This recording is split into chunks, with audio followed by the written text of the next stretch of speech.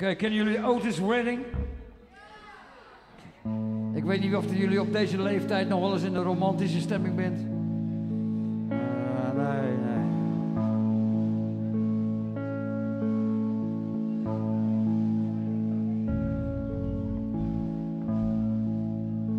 These arms are mine.